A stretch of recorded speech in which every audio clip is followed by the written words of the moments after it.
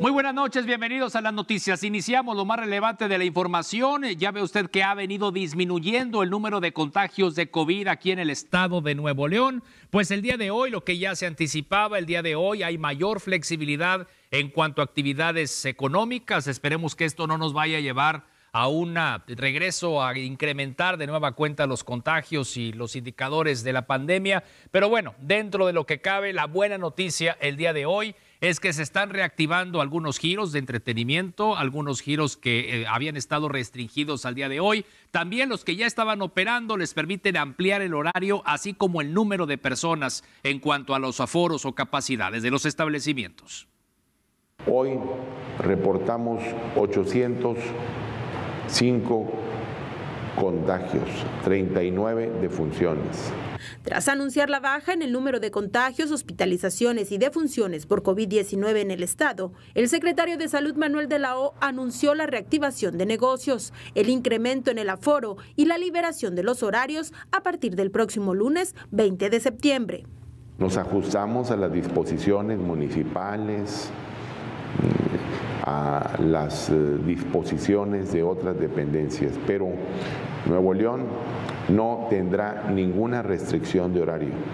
Hoy los indicadores de salud, nos lo dicen, están muy bien los indicadores, vamos bajando.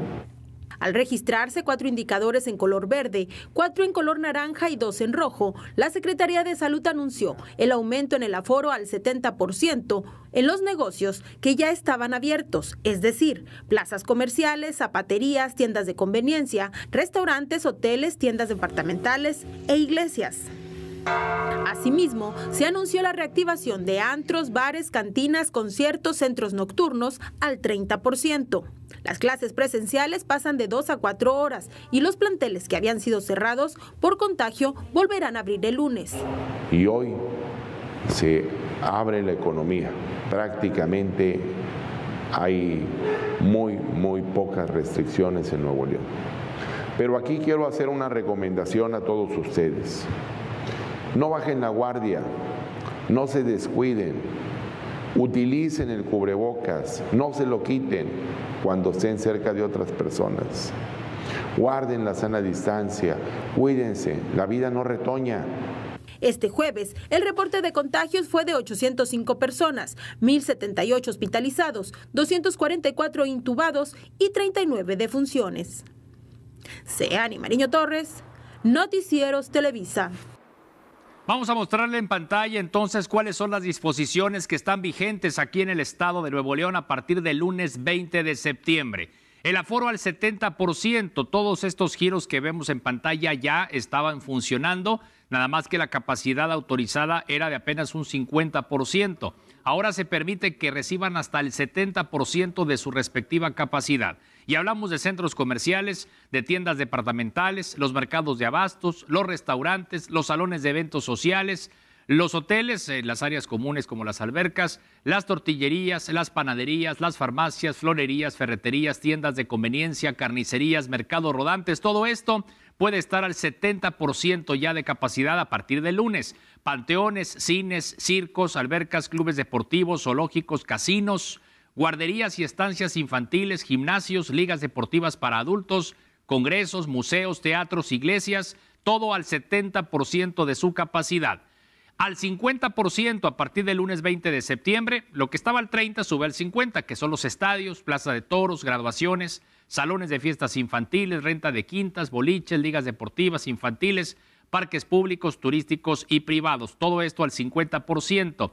Reapertura y aforo al 30%. Importante subrayarlo aquí. Los conciertos se puede entonces ya recibir a los seguidores de los artistas y grupos musicales, pero solamente al 30%, como ya lo vimos en algún momento. Ahora se permite de nueva cuenta la realización de conciertos y festivales de música. Bares y cantinas ya pueden reabrir, habían estado cerrados. Los billares, los centros nocturnos, antros, discotecas, las kermés y ferias, los juegos mecánicos, albercas públicas y fiestas patronales ahora pueden entonces eh, reabrir y con un aforo permitido de solamente el 30%, y esto es a partir del próximo lunes 20 de septiembre. Algo también importante en cuanto a restricciones para escuelas en donde se llegue a detectar algún caso de COVID es que ya no hay que cerrar la escuela completa, ya no hay que suspender la actividad presencial en toda la escuela, solamente solamente en el salón de clase en donde se llegue a detectar, a confirmar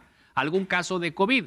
Ya ve usted que se habían desatado por ahí algunas, ah, desde luego, eh, molestias y reacciones protestas por parte de directivos de planteles educativos, sobre, todo escuelas privadas. Dábamos el dato hace unos días que habían cerrado al menos 17 instituciones educativas, la mayoría de estas escuelas privadas, debido a contagio de COVID, pero un contagio y la determinación era cerrar toda la escuela. Bueno, ahora la determinación cambia. Si se llega a confirmar un caso de COVID, en un plantel educativo, quienes tienen que regresar a casa son solamente los compañeros de clase de ese salón en donde se haya confirmado el caso. Yo creo que está por mucho más entendible y por mucho más lógica esta medida aquí eh, anunciada el día de hoy por las autoridades. También que las clases presenciales a partir de lunes puede ampliarse, ahora pasan a ser de cuatro horas la jornada de clase presencial.